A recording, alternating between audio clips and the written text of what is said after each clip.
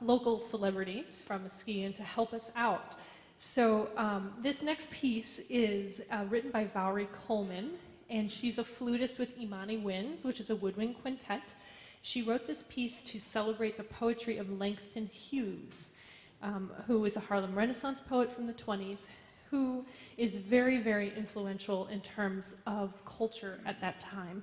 Um, and so they will be reading poetry that then Valerie Coleman wrote pieces about the poetry.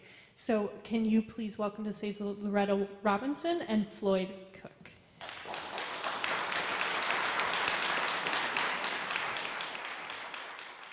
She, in the dark found light, brighter than many ever see.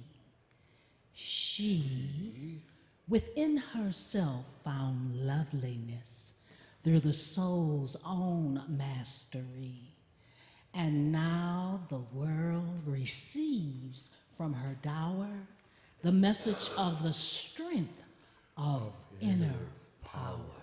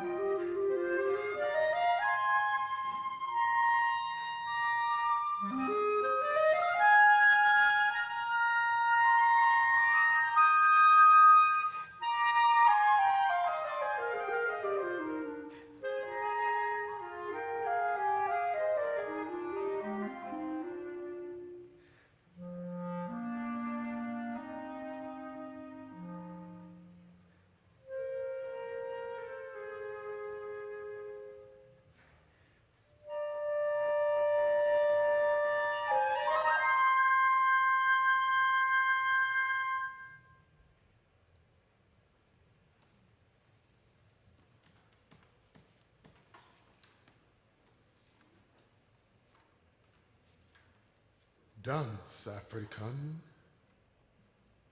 the low beating of the tom-tom, the slow beating of the tom-tom, low, slow, slow, low, stirs your blood, dance. A night veiled girl whirls softly into a circle of light. Whirls softly, slowly, like a wisp of smoke around the fire, and the tom toms beat, and the tom toms beat, and the low beating of the tom toms stirs your blood.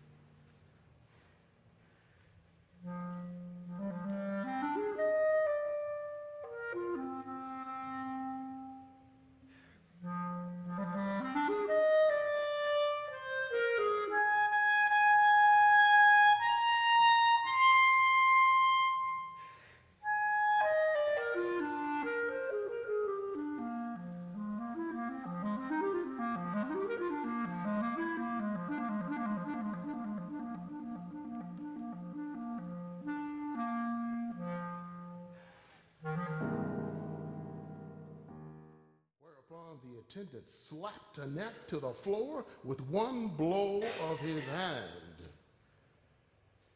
Then there was that Florence, the famous entertainer, that same Florence who snubbed millionaires nightly, arose from her table near the orchestra to defend the poor little French danseur in her troubles. Florence wore an evening gown of gold and a spray of orchids in her hair.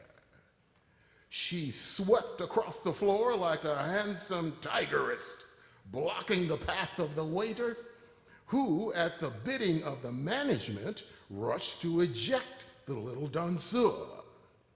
Florence said, Don't touch that woman. She's a woman, and I'm a woman.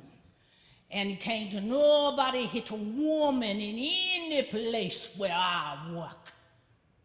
Don't put your hands on that woman. Now, by that time, the little danseur had risen from the floor and seized another ice bucket, which she sent whirling into space. Customers dodged behind tables. The orchestra struck up Tuck Me to Sleep in my old Kentucky home to drown out the noise.